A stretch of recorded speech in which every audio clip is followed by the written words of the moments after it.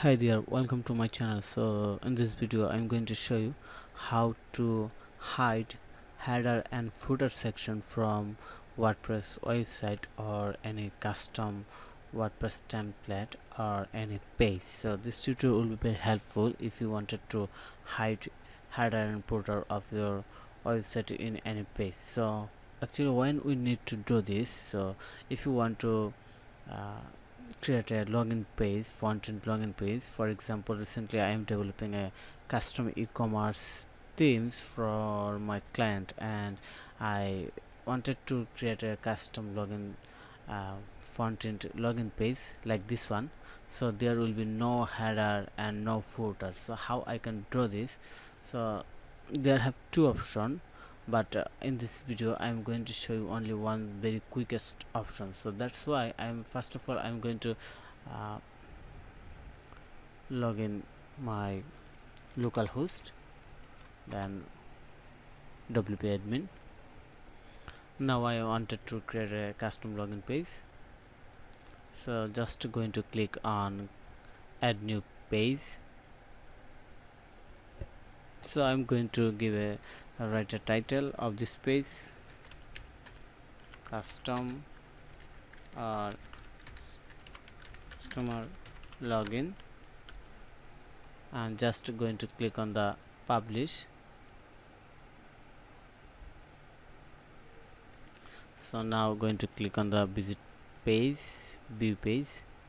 So look at here there I have header uh, and footer section and uh, fluid uh, sidebar. So first of all I have to select a fluid template.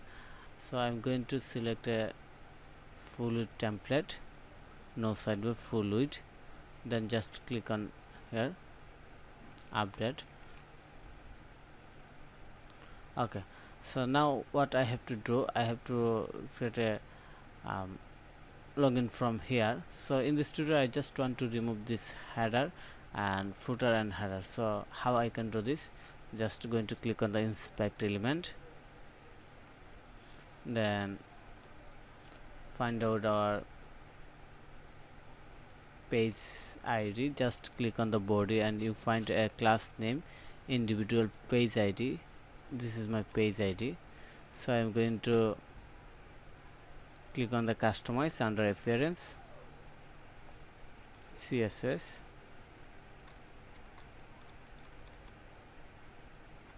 then just page id then we have to find out the page id and header class. This is my header class site header.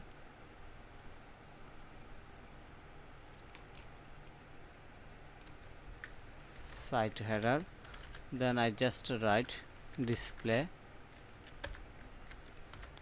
None. Now going to click on the update then we can see the difference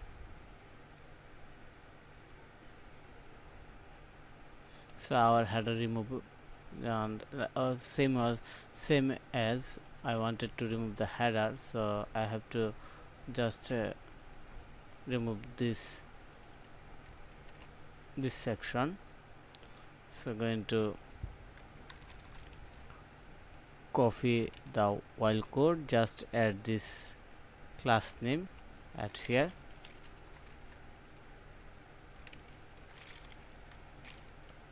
site header site footer. Okay this is the very quickest and easiest way to remove header and footer from any wordpress custom template or any uh, wordpress website. Now you can add your mm, add your login from here or write login from code add uh, here. So this is the another part. So i am going to just uh, in this uh, tutorials here. Thank you for watching this video